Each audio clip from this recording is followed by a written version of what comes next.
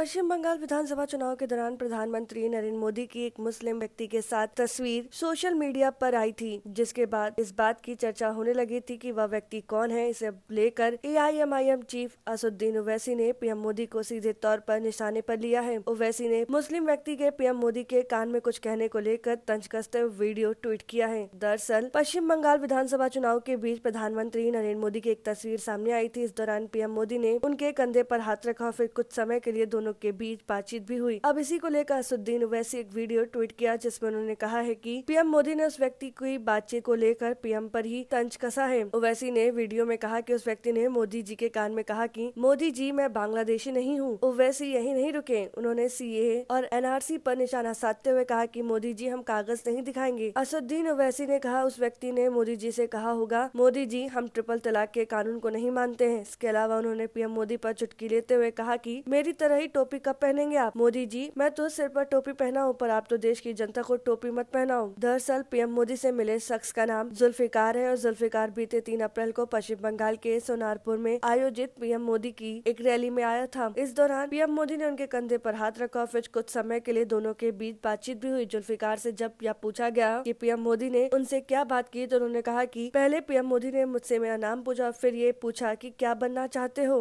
अभी थोड़े दिन पहले अखबार में आपने फ़ोटो देखा होगा एक। मोदी जी के बाजू एक आदमी खड़ा हुआ है, सर पे टोपी है। देखा फ़ोटो आपने? मोदी जी खड़े हैं, सर पे टोपी है और उनको कान में कुछ बोल रहा है। देखा ना फ़ोटो आपने? तो मीडिया के लोग हमसे पूछे, क्या बोला होगा वो? तुम बोले, तुम सुनोगे? तो बोले, बोलो। मेरे को नहीं मालूम कि वो क्या है, कौन है। मैं तो आप जानते मैं तो नहीं जानता। बोले, क्या बोला होगा? तो उसने कान में कहा, मोदी जी, मैं बांग्लादेशी नहीं हूँ। किसी ने पूछा, और क्या कहा होगा? तो उसने कहा, मोदी जी, हम कागज़ नहीं दिखाएँगे एनआरसी, एनपीआर के लिए। फिर किसी ने पूछा और क्या कहा होगा उस लड़के ने मोदी जी को? तो उसने कहा, मोदी जी, हम ट्रिपल तलाक के कानून को नहीं मानते। फिर किसी ने पूछा, और क्या कहा? तो उस शख्स ने कहा, हो सकता है कि मोदी जी मेरी तरह की टोपी कब पहनेंगे आप?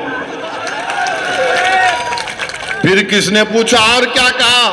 तो उसने कहा, मोदी जी, मैं तो सर पे टोपी पहना हूँ कम से कम आप तो देश की जनता पर टोपी मत पहनाओ, बहुत पहना चुके हो। अगर आपको हमारा वीडियो पसंद आया हो तो इसे लाइक करें सब्सक्राइब करें और साथ ही बेल आइकन दबाना ना भूलें।